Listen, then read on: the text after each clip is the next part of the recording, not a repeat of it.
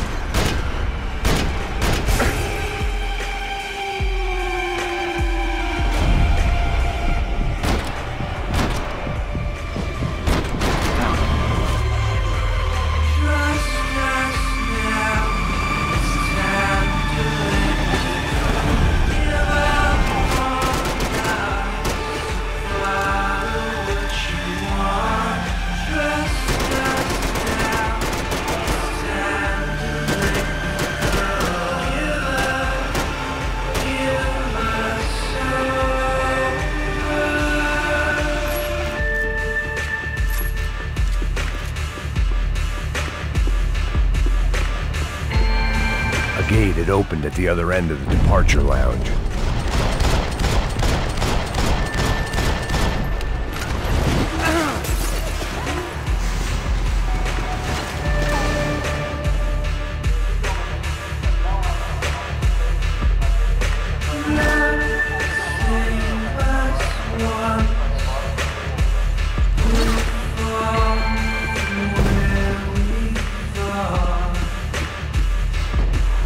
I'd